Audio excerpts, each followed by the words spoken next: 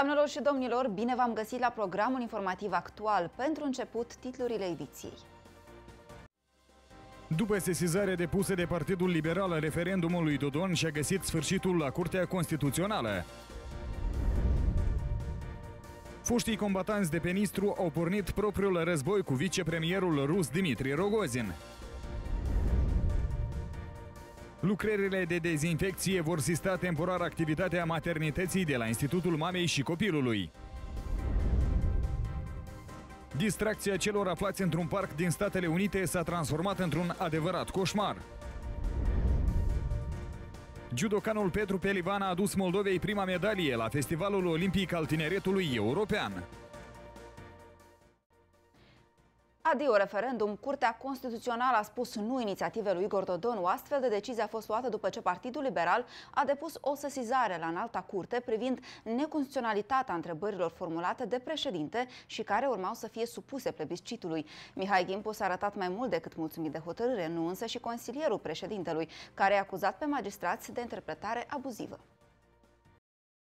Magistrații Curții Constituționale au examinat fiecare punct în parte și au decis că referendumul nu poate avea loc din motiv că întrebările reflectate în decretul președintelui depășesc împuternicirile constituționale ale șefului statului. Astfel, judecătorii au dat câștig de cauză Partidului Liberal. Curtea Constituțională hotărăște 1.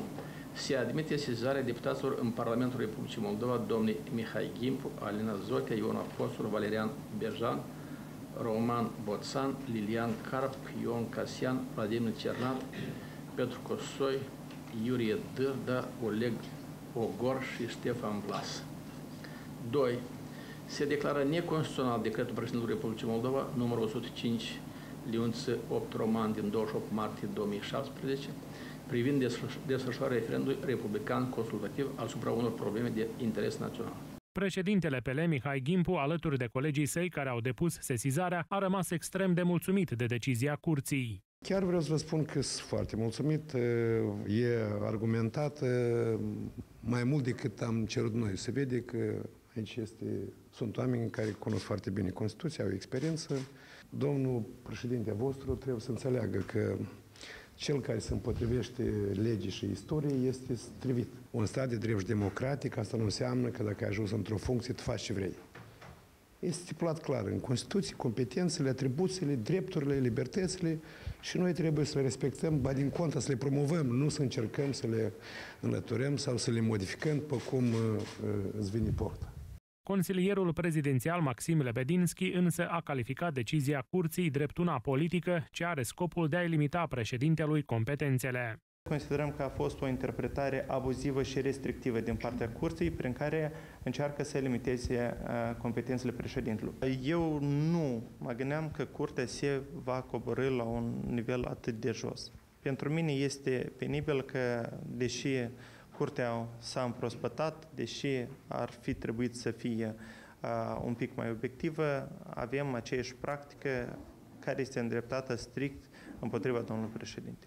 Igor Dodon a reacționat imediat pe o rețea de socializare și s-a arătat nemulțumit de decizia curții, fapt pentru care a declarat că nu se va opri, iar în scurt timp va veni cu o altă inițiativă în acest sens. Precizăm că hotărârea curții constituționale este definitivă, nu poate fi supusă niciunei căi de atac. Amintim că la sfârșitul lunii martie, Igor Dodon a semnat un decret privind organizarea unui referendum consultativ pe patru subiecte, printre care anularea legii miliardului și reducerea numărului deputaților. Alte două chestiuni țin de oferirea drepturilor suplimentare președintelui și de studierea istoriei Moldovei în școlile din Republica Moldova. În cazul în care plebiscitul avea să aibă loc, statul urma să cheltuie peste 70 de milioane de lei. Membrii Uniunii Naționale a Veteranilor de Război îl declară pe mercenarul rus Dimitrie Rogozin persoana non grata în Republica Moldova. Foștii luptători au anunțat că mâine vor merge la aeroportul Chișinău pentru a manifesta împotriva acestuia și îndeamnă cât mai multă lume să li se alăture. Totodată, combandații au dat cartonaș galben președintelui Republicii Moldova, Igor Dodon, pentru decizia de a acorda distinții de stat pacificatorilor ruși. Ei l-au acuzat pe Dodon că este un mancurt și un trădător de țară care se află în cârdășie cu Rogozin.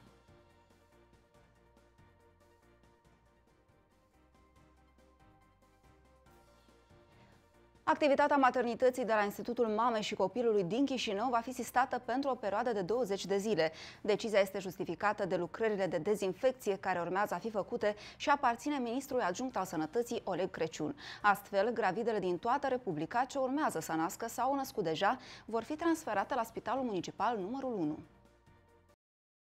Potrivit dispoziției semnate de viceministrul Sănătății Oleg Creciun, maternitatea de la Institutul Mamei și Copilului își va opri activitatea începând de la 1 august până pe 20 august. Aceasta va fi închisă pentru lucrări de dezinfecție.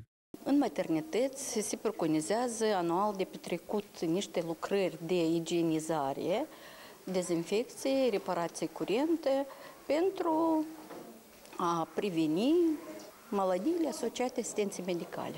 Lucrările de reparație curente vor fi în, în toate secțiile, uh, reparații capitale nu se prevăd, dar igienizarea chiar peste tot, și în săli de operație, și în săli de naștere, și în saloanele pacienților, în birourile medicilor, pe holuri, pacientele de nivelul 3 și nivelul 2, care se refereau în centrul mamei și a copilului, vor fi redirecționate la spitalul numărul 1. Medicii nu pot pleca de la o instituție la alta, în conformitate cu normilor de angajare în muncă. Pacientele se transferă, care sunt grave și de gravitate medie, sunt transferate la spitalul numărul 1 pentru monitorizare și tratament corespunzător în continuare. Chiar dacă vestea nu este bună pentru pacienți, aceștia susțin că nu va fi o problemă să se deplaseze la o altă instituție. Eu cred că asta nu e o problemă, pentru că personalul medical care adică a fost aici e foarte bun și sper că și în spitalul numărul 1 e la fel, pentru că s-a comportat cu noi foarte frumos. Nu e o problemă, dacă este nevoie, desigur că să plecăm. Potrivit purtătorului de cuvânt al Spitalului Municipal numărul 1 din Chișinău, chiar dacă numărul lucrătorilor medicali se va dubla în această perioadă, instituția se așteaptă la o mărire considerabilă a volumului de muncă. Instituția noastră poate face față numărurilor mari de nașteri uh, cu complexitate diferită. Timp de 24 de ore putem acorda asistență medicală sau asistarea nașterilor 50-60 de gravide fără nicio problemă. Suntem pregătiți atât cu personal medical, cât și cu uh, farmaceutice, parafarmaceutice și toate investigațiile toate sunt uh, în lucru.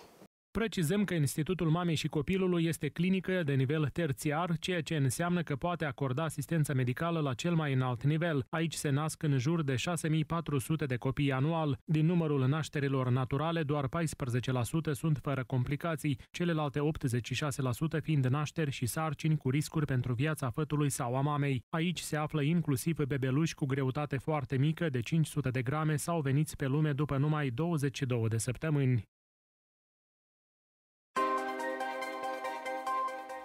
Câte cișmele vor fi instalate în Chișinău și unde își vor putea potoli sede cei aflați în centrul capitalei, aflați imediat la știri.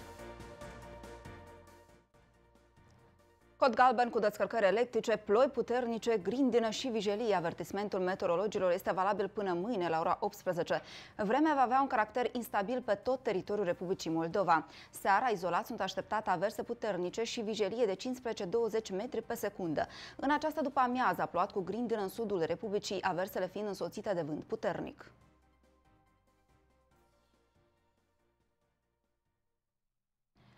Plângerele înaintate de părinți, conform cărora din alimentația copiilor din grădinițe lipsesc fructele, legumele și lactatele, nu au rămas fără ecou. Inspectorii de la Centrul de Sănătate Publică au luat la verificat mai multe astfel de instituții din capitală. În urma controalelor s-a adeverit că micuții nu au în meniu vitaminele de care au nevoie zilnic, așa cum prevede regulamentul. Am venit cu cele mai frumoase intenții să constatăm lucruri frumoase. Sper că așa o să fie. Aveți aici dispoziția primarului, o păstrați la dumneavoastră. După ce un grup de părinți a înaintat viceprimarului Capitalei o solicitare pentru a fi constituit un grup de lucru care să supravegheze alimentația copiilor în grădinițele din municipiu, autoritățile au decis să formeze o comisie specială care să verifice cum stau lucrurile. Prima problemă depistată a fost la grădinița cu numărul 41 din sectorul Râșcani. Pe data de 25 nu ați da. avut al doilea dejun. Al doilea dejun n-ați avut. Au existat anumite perioade până la uh, apariția fructelor uh, de sezon. Au existat uh, o perioadă de o săptămână, două, uh, când uh, au fost uh, mai puține mere din cauza faptului că au expirat perioada de viață a merilor. Dar în această perioadă noi am compensat mesele copiilor cu alte produse care au adus la normalizarea situației referitor la alimentația copiilor. Totuși, responsabilii grădinițelor declară că verifică cu minuțiozitate fiecare produs care ajunge în farfuriile copiilor. Обязательно молочные продукты, творог, фрукты, овощи. Чем больше овощей, тем лучше. Стараемся избегать много булочек, такого тяжелого для ребенка, да. Лучше пусть кушают овощи и фрукты. Тем более сейчас сезон для нашей Молдовы. Deși conducerea instituției spune că vitaminele de pe masa copiilor nu lipsesc, mamele susțin că de ceva timp copiii nu mai primesc fructe și lactate. Eu în grădinița 100, ultimele două luni, cred că mai des de o dată pe săptămână nu am văzut fructe și legume. A fost preponderent banană, iar în alte grădinițe 56, cel puțin o mică ne-a transmis meniul pentru 4 zile, săptămâna 10-17 iulie, la fel au lipsit fructele și legumele. Din grădinița 150 și sunt meniuri postate în grupul Părinții Solidari, unde la fel lipsesc perioade de cel puțin o săptămână, sunt la rând fotografiate meniurile unde lipsesc fructele și legumele complet. Lucrurile nu au stat mai bine nici la grădinița cu numărul 57 din același sector. Deși în meniul model erau incluse legumele proaspete, de pe masa micuților lipsesc morcovul și ardeiul. În meniul care este în grădiniță, legumele proaspete nu sunt, este ghiveciu. Da, ghiveciu este ok, nu zic că nu e bun, dar după calitățile nutritive și după norma de vitamine și minerale, copilul pe zi trebuie să primească atât fructe proaspete cât și legume proaspete. Noi am lăsat pe mâine să facem chiparuș în plăuți. Noi ținem cont, dar așa în situație n-am soră medicală, dar eu nu pot să studiez pentru tăți și eu nu chiar am știut ce astăzi noi trebuie să dăm legume proaspeți, chiar proaspeți, morcov și ardei. Precizăm că verificările nu s-au oprit aici, controle similare urmând a fi efectuate și la alte grădinițe din municipiu. De când a devenit președinte, Igor Dodon nu încetează să uimească societatea prin acțiunile sale. De această dată, șeful statului se ia de unioniști. Acesta a anunțat că va propune un proiect legislativ care să interzică activitatea unioniștilor și organizațiilor ce pledează pentru unirea cu România. Declarațiile au fost făcute aseară în cadrul unei întâlniri cu jurnaliștii, pe care i-a invitat la vila sa de la Condrița, acolo unde locuiește pe timp de vară și unde acum câteva zile a dat și un banchet. În cadrul conferinței de presă organizată la Vila de la Condrița, Igor Dodon le-a spus jurnaliștilor că în toamnă va veni cu o inițiativă legislativă care va interzice activitatea oricărui partid politic ce pledează pentru lichidarea statalității și suveranității țării, făcând referire la unioniști și menționând că o prevedere similară ar exista și în legislația României. Cei care pledează pentru lichidarea, lichidarea statalității trebuie să fie în afara legii. Și gata. Nimic mai mult. Asta se referă și la cei care vor unirea cu România și la alții care vor unirea cu Rusia sau cu altcineva.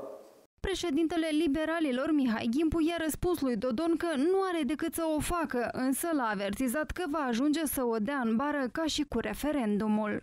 Ce înseamnă interzici? Noi avem uh, hotărârea Cursii Europene privitor la problema poate sau nu poate un partid promova unirea Republicii Moldova cu România. Și este clar că acestea sunt valori democratice, lupta pentru idei, promovarea ideilor.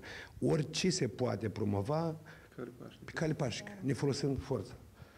Dar dacă Dumnezeu îmblă cu Catiușa pe umăr, mă scuzați, vă rog. Absolut neafectat de criticile internauților, Igor Dodon nu a negat nici faptul că a dat o petrecere weekendul trecut la vila prezidențială, menționând că nu vede o problemă în asta. Acesta este locul de trai al președintelui Republicii Moldova pe durata mandatului. Chiar dacă se organizează careva evenimente familiare, de familie, nu din contul statului, încă o dată, nu din contul statului, pentru că niciun leu statul nu a cheltuit acesta este un lucru care nu este cu încălcarea legislației. Da, confirm că a avut loc un eveniment de familie. La mine săptămâna trecută, unul de ficiori a împlinit o vârstă frumoasă, nu ați văzut pe internet, am plasat. Care este încălcarea legislației? Ulterior, șeful statului a profitat de presă și s-a lăudat cum trăiește, dar și ce are prin beci. Aici este, cum spun la noi la moldoveni, șoncă. Șonc. Șonc, da din uh, carne de vită și carne de porc. Uh, au reușit să facă și ceva conservații, soția împreună cu doamna de aici. De fapt, ne-a arătat totul în mare grabă, fără a ne lăsa să filmăm totul de aproape. Igor Dodon a negat și faptul că a făcut reparație capitală, ci doar a cosmetizat și că nu ar fi cheltuit sume colosale, așa cum s-a scris în presă. Este vorba de mijloace financiare care au fost alocate de Cancelarea de Stat, acele 180-200 de mii pentru reparație cosmetică. Mai mult, bani suplimentari în volume extraordinare nu au fost alocate. Precizăm că liderul PL Mihai Gimpu a cerut Procuraturii Generale să se sesizeze pe marginea reparației efectuate la Condrița și să investigheze din ce bani și-a renovat Igor Dodon vila. Totodată, Procuratura s-a autosesizat și pe marginea petrecerii pe care a dat-o Dodon acum câteva zile la vila de la Condrița.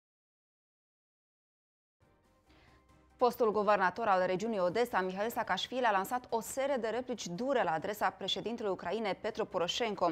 Asta după ce ieri autoritățile de la Kiev au decis să lipsească pe oficialul georgian de cetățenia ucrainească. Saakashvili a spus că șeful statului a depășit orice limită prin gestul său. Mai mulți experți spun că relațiile dintre Saakashvili și Poroshenko s-au înrăutățit, din motiv că primul nu și-a respectat niciun angajament față de populația din regiune.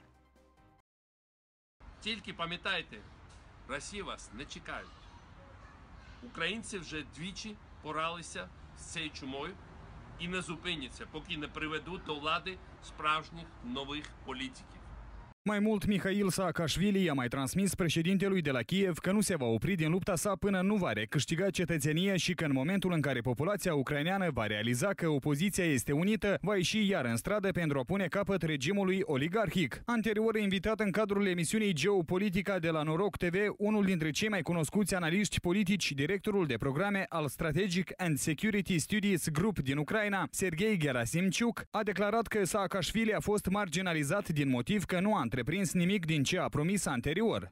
Besides, um, uh, as far as I, I'm concerned, uh, uh, Saakashvili was trying to, to follow two goals simultaneously.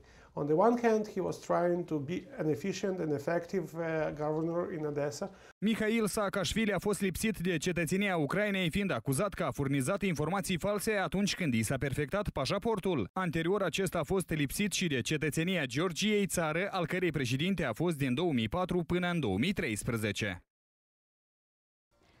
Dacă vă prinde seta în timp ce vă plimbați în parcul catedralei din Chișinău sau în împrejurim, vă puteți potoli gratis. O cișmeadă unde oamenii pot bea apă potabilă a fost instalată chiar în centrul capitalei. Responsabilii de la Serviciu Apă Canal anunță că încă 12 astfel de surse care potolesc seta vor apărea în mai multe locuri din Chișinău.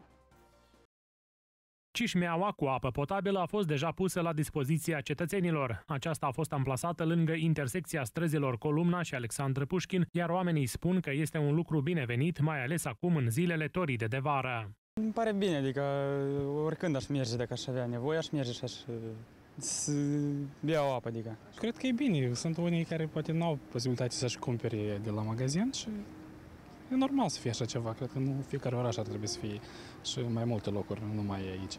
Cred că este uh, ceva bun pentru Chișinău, pentru că am fost în Italia și acolo este prea mulți. Cred că nu mai, nu mai bine emoția am. Nici de exemplu în clasă. E normal, acolo poate fiecare să bea, că eu mă gândeam înainte, zic că cine să bea, dacă fiecare să vări gura acolo, dar nu, e normal. E foarte bine că nu toți au bani, posibilitate să cumpere. Reprezentanții Apă Canal Chișinău ne asigură că apa este potabilă, filtrată și este distribuită gratuit. În curând, multe altele vor apărea în toată capitala. Apă Canal își propune lansarea campaniei Cișmele pentru chișinăuieni.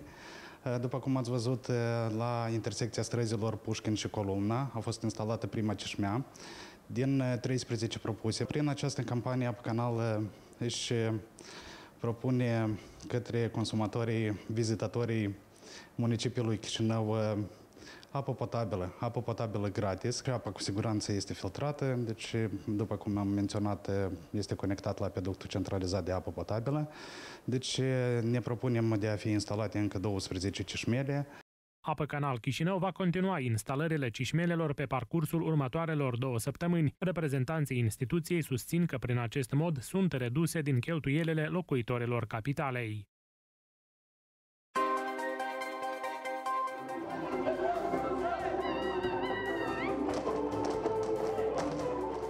Cum au ieșit în evidență dansurile populare naționale la o competiție din Turcia, aflați imediat la știri.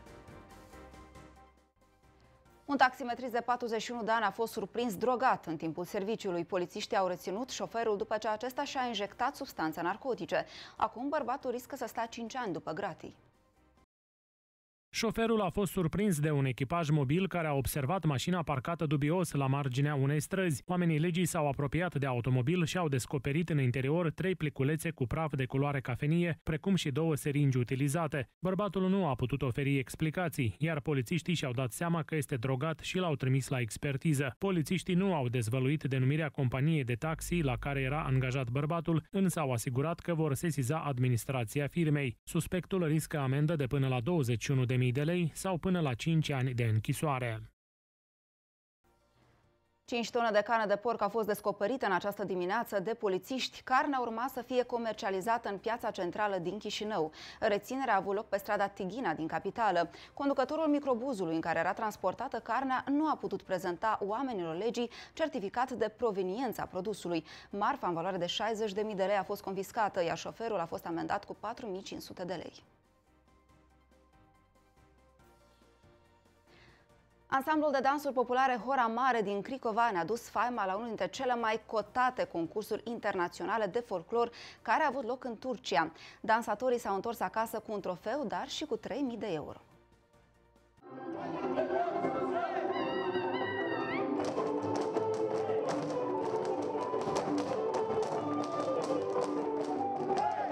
Ansamblul Hora Mare din Cricova a fost înființat în anul 2000, iar de atunci s-a remarcat la concursurile de dansuri populare pe plan național și internațional, punând în valoare vechile tradiții ale neamului românesc. Aici îmi găsesc echilibru sufletesc, moral și fiziologic. Cu toate că munca pe care o depunem este foarte grea, mă duc acasă uh, foarte satisfăcut și relaxată. O specialitate foarte frumoasă, el este focul din sufletul meu. Dansul este tot pentru mine. Cred că e cea mai mare boală din copilărie, este dansul.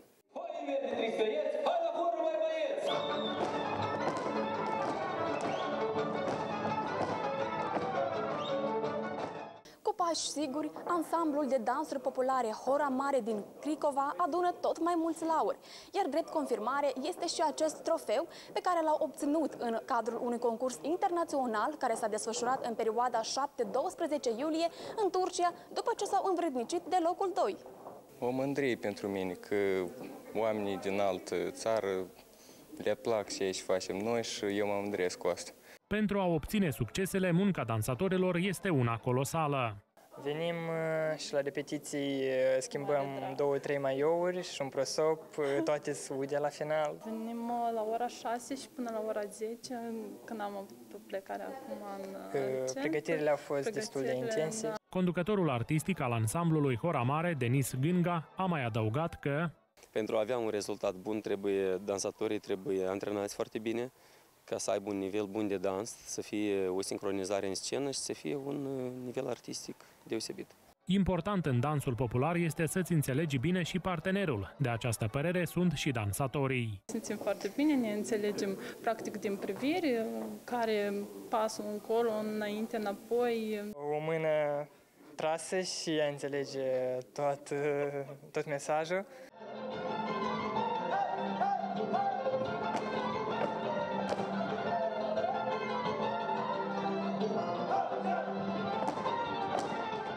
Concursul internațional de dansuri din Turcia a adunat ansambluri din 21 de țări. Ca răsplată a evoluției, ansamblul din Republica Moldova a primit un trofeu și 3.000 de euro. Dansatorii moldoveni sunt motivați să participe la mai multe festivaluri de folclor și să cucerească tot mapamondul.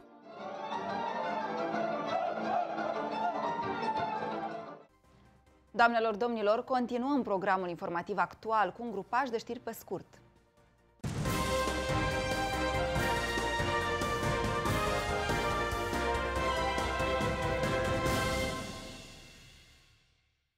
Doi tineri de 23 și 24 de ani au fost reținuți azi noapte de către un echipaj de poliție după ce au jefuit un taximetrist, lăsându-l fără telefonul mobil. Incidentul a avut loc în sectorul Buiucan al capitalei. Observând că nu-și găsește telefonul, taximetristul a sunat imediat la poliție. Hoții au fost urmăriți și reținuți la scurt timp. Se pare că cei doi nu sunt la prima acțiune de acest gen. Pentru fapta comisă, suspecții riscă până la șapte ani de pușcărie.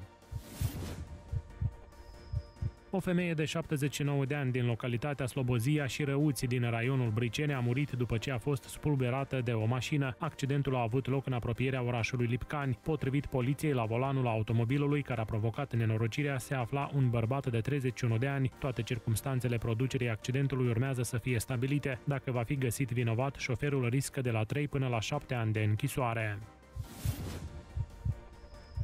Un avocat riscă închisoare pentru comiterea a patru fapte de trafic de influență, premind de la clienții săi 40.000 de euro pentru a le aranja dosarele. Omul legii a estorcat de la o persoană care fusese condamnată pentru acțiuni de corupție 7.000 de euro. De la alte două persoane cercetate pentru contrabandă cu droguri, avocatul a mai luat câte 15.000 de euro, promițându-le eliberarea din arest. Prin aceeași schemă, la finalul anului 2014, acesta a primit 2.000 de euro de la clientul său pentru a-l ajuta în câștigarea unui unui proces de judecată. Acum avocatul riscă să-și petreacă următorii șapte ani după gratii.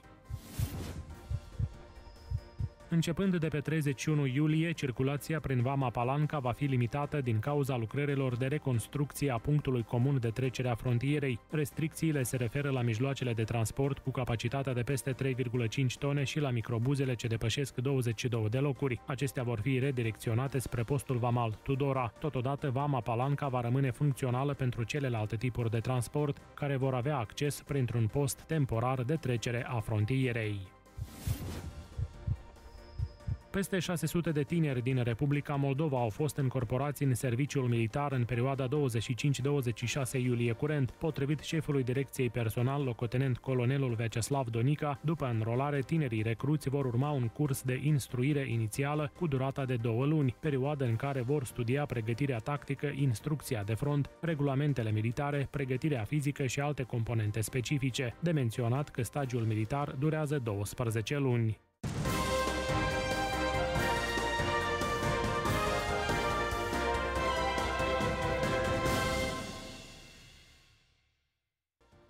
O persoană a murit, iar altele șapte au fost grav rănite după ce un utilaj dintr-un parc de distracție din Statele Unite ale Americii s-a desprins de la o înălțime de câțiva metri.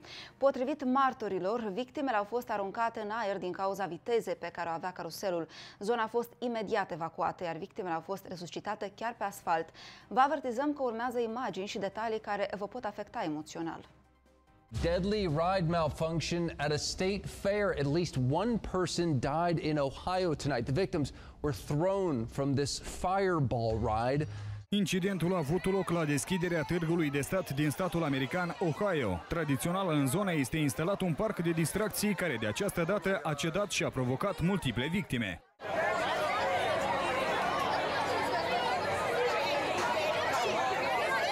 One person has been uh, is deceased as a result of this incident. We also have um, additionally seven other persons who are injured. Uh, three of those are in critical conditions. Uh, all of the folks that have been injured have been transported to local hospitals. Imediat după acest incident, autoritățile au închis zona. It's a, it's a very, very tough situation when you go somewhere to celebrate and have a great time and you, you're with friends and sometimes with family and you know the fair is about uh, the best things in life and and then tonight with this accident it becomes a terrible terrible tragedy Guvernatorul statului Ohio a decretat ca toate zonele de agrement de acest tip din regiune să fie închise și supuse verificărilor repetate. Comisia Europeană a avertizat miercuri că este pregătită să declanșeze împotriva Poloniei o procedură care poate conduce la suspendarea drepturilor de vot în Uniunea Europeană. Sancțiunile ar putea fi date în cazul în care vor fi revocați judecătorii Curții Supreme, relatează AFP. Acest lucru ar fi o premieră în istoria Uniunii Europene care nu a folosit niciodată articolul 7 pe care Comisia l-a introdus în urmă cu 17 ani pentru a se asigura că toate țările vor respecta valorile comunitare. În acest context, Bruxelles a mai anunțat că va mai lua măsuri care vor duce la aplicarea aplicarea unor sancțiuni financiare Poloniei, odată cu publicarea oficială a noii legi, cărea președintele nu i s-a opus prin veto luni. Precizăm că mii de persoane au manifestat în fața Parlamentului polonez pentru a denunța reformele controversate din sistemul judiciar impuse de conservatorii aflați la putere. Libera circulație între Marea Britanie și țările din Uniunea Europeană se va încheia până în martie 2019. Anunțul a fost făcut de către ministrul britanic pentru imigrație. În același timp, guvernul britanic va introduce un sistem nou pentru gestionarea imigrației. În prezent sunt evaluate costurile și beneficiile cetățenilor din Uniunea Europeană, iar un raport în acest sens va fi gata abia cu jumătate de an înainte de Brexit. Precizăm că procedura de separare a Marii Britanii de Uniunea Europeană a fost declanșată pe 29 martie în acest an.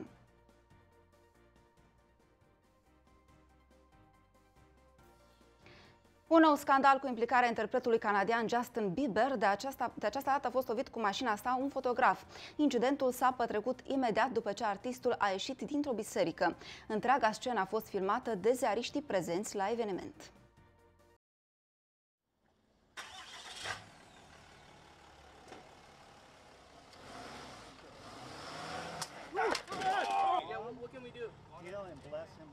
Incidentul s-a petrecut miercuri seara în Los Angeles. Nici bine nu a apucat să plece că interpretul a lovit cu mașina un fotograf care a rămas întins pe trotuar minute bune. Justin a coborât imediat din mașină pentru a vedea în ce stare este acesta și pentru a-i acorda ajutor. Potrivit poliției, cântărețul a lovit neintenționat pe fotograf. Autoritățile au mai declarat că acesta conducea cu o viteză extrem de mică, iar în urma incidentului nicio persoană nu a fost reținută. Justin Bieber a mai fost protagonistul unei altercații în trecut, atunci când a lovit un fotograf care a făcut un comentariu personal la adresa lui.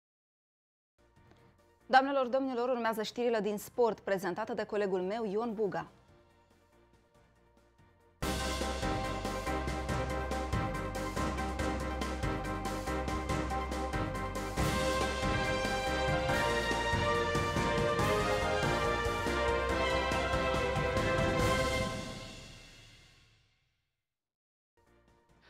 Judocanul Petru Pelivan a cucerit prima medalie pentru Moldova la Festivalul Olimpic al Tineretului European. Sportivul nostru a urcat pe treapta a doua a podiumului de premiere.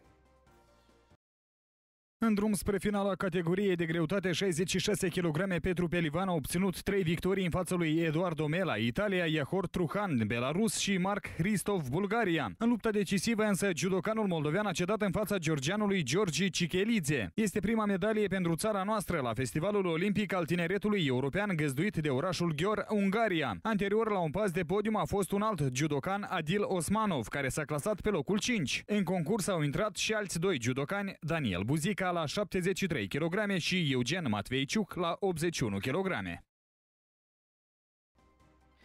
Campioana României, viitorul Constanța, a luat o opțiune bună de calificare în play-off-ul Ligii Campionilor. Echipa lui Gheorghe Hagi a câștigat duelul de acasă cu Apoel Nicosia în prima manșă din turul al treilea preliminar al cele mai tari competiții intercluburi din Europa.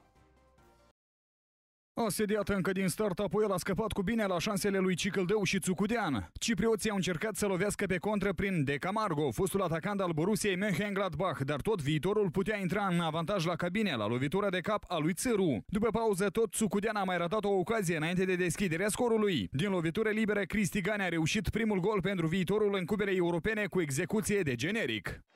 Sunt sigur că cei mai mulți dintre dumneavoastră ați văzut golul marcat de Ganea în prima etapă acestui campionat. Fără italianul uh, Valeri. Ganea! Gol!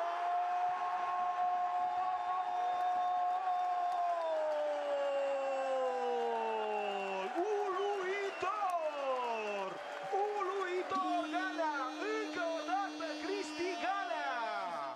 Putea fi chiar 2 la 0 după acțiunea lui Florinel Coman, folosit în premieră în acest sezon. Acesta a avut o fază superbă, dar șutul său nu a prins cadrul porții. În prelungiri, Țucudean a fost eliminat în urma unei intrări dure asupra portarului advers și nu va juca în returul de la Nicosia de miercuri 2 august, acolo unde pe viitorul o așteaptă o atmosferă infernală. Internaționalul moldovean Alexandru Eporeanu a fost integralist pentru Istanbul Başakşehir în partida din deplasare cu belgenii de la Club Bruges. Echipa sa a remizat scor 3 la 3 și este favorită la calificarea în play-off. Înfrângere însă pentru românii Claudiu Cheșeru și Cosmin Moții. Echipa lor lui Dogoriț a cedat în deplasare cu Hapoel Beersheva din Israel.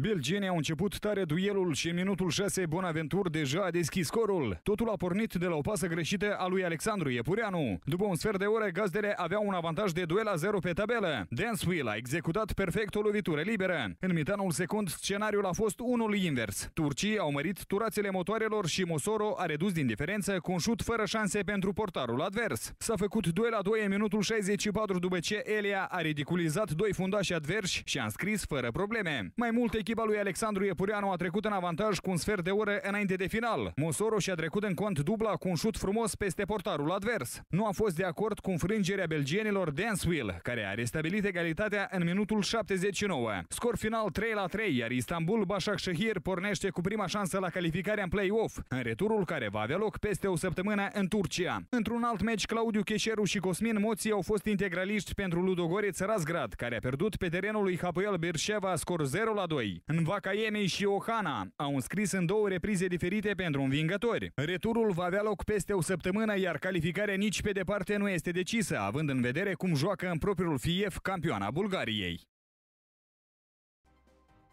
Radu Albot a fost eliminat dramatic în turul secund al turneului ATP din Elveția după ce a avut 4.000 de meci împotriva principalului favorit la câștigarea competiției, belgianul David Goffin.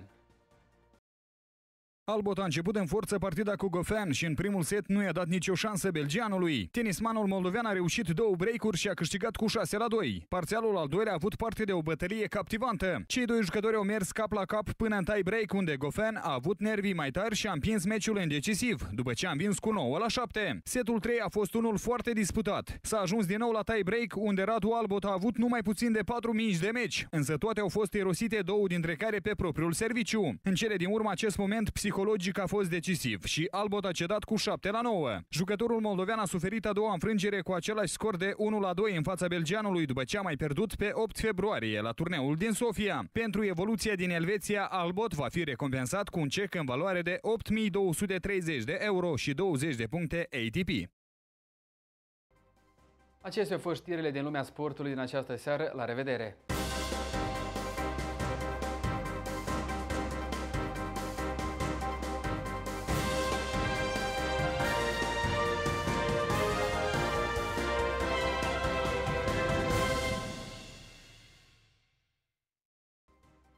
Continuare, vă prezentăm datele despre starea vremii.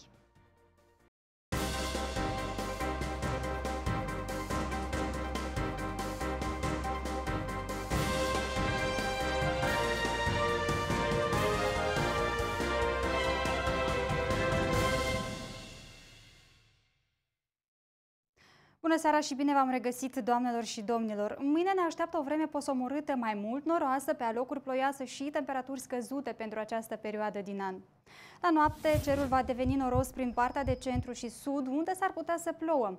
În restul regiunilor va fi cersenin și o vreme destul de liniștită. Temperaturi de 23 de grade vor fi atestate în sud-estul țării, iar minima de 13 grade Celsius se va înregistra în zona centrală la Predeal. Mâine se înregistrează o ușoară creștere a temperaturilor, însă vremea se va menține instabilă. Cer variabil va fi în aproape toată țara, cu excepția zonei vestice, și anume la Timișoara și Târgu Jiu, acolo unde soarele va fi prezent la datorie, iar temperaturile vor înregistra 27 de grade Celsius. Cea mai ridicată temperatură de 29 de grade se va testa la Craiova. Vântul va sufla slab în majoritatea regiunilor țării, iar minima va fi cuprinsă între 21 și 24 de grade prin zonele de nord, centru și sud-est. În zona Moldovei, vremea se va menține închisă, cerul va fi mai mult noros, iar ploile vor pune stăpânire pe regiunile nordice și aici vorbim de Ocnița și Bălți, unde se vor înregistra 20 de grade. În rest, cer mai mult variabil și maxime de 24 de grade la Ștefan Vodă, Galați și Suceava. La Chișinău, meteorologii prognozează o vreme similară cu cea de toamnă, dat fiind faptul că cerul va fi mai mult acoperit de nor și va ploua. Nici temperaturile nu vor fi prea ridicate, maxima fiind de 23 de grade. Noaptea vor fi până la 18 grade Celsius.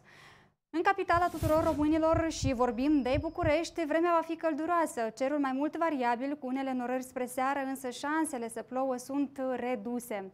Vântul va sufla slab până la moderat. Temperatura maximă va fi de 27 de grade, iar cea minimă va fi de 19 grade Celsius. Cam atât despre starea vremii pentru ziua de mâine. O seară plăcută în continuare. Numai bine!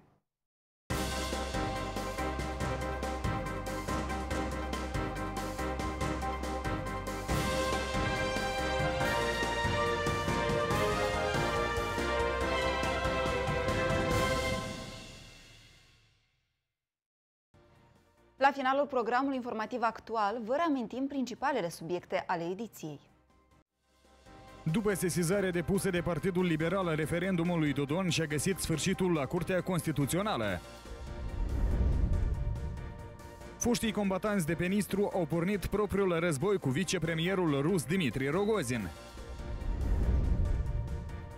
Lucrările de dezinfecție vor sista temporar activitatea maternității de la Institutul Mamei și Copilului. Distracția celor aflați într-un parc din Statele Unite s-a transformat într-un adevărat coșmar. Judocanul Petru Pelivan a adus Moldovei prima medalie la Festivalul Olimpic al Tineretului European. Acesta a fost programul informativ actual. Eu sunt Irina Staver și în numele echipei vă mulțumesc pentru atenție. Ne găsiți și pe site-ul Noroc TV, dar și pe pagina de Facebook, programul informativ actual. Dacă aveți o informație care poate deveni o știre, apelați la numărul de telefon 022 804388 sau la adresa de e-mail actualnorocmedia.gmail.com Rămâneți alături de programele noastre. O seară frumoasă în continuare. La revedere!